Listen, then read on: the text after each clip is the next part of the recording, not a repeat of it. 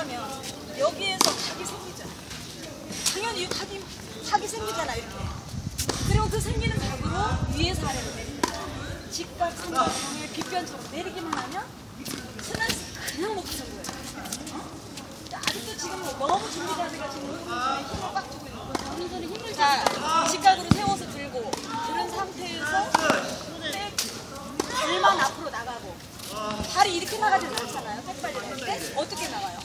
약간 왼쪽으로 나가잖아요. 그러면 어깨 그러면 자동적으로 이렇게 들면 때문에 그때 이 왼손으로 잡은 상태에서 오른손에 임팩트 순간에 힘을 딱 주면서 이렇게 쫙 내려봅니다. 오른손이 주먹으로 발리가 친다 생각하지 예, 말고 새끼를 좀 새끼 손을 좀 당겨준다 생각하고 그대로 쭉 나가면 면이 내가 안 보이고도 살아서 그대로 어, 힘쭉 됐네 이제. 푹.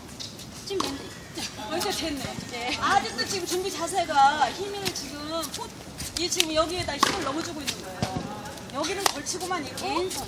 왼손에다가 고정을 시- 시킨 다음에 이게 90점이에요. 90점인 상태에 잡은 상 임팩트 하러 올 때만 힘을 여기에다가 옮겨놓는 거예요. 자 오늘은 백발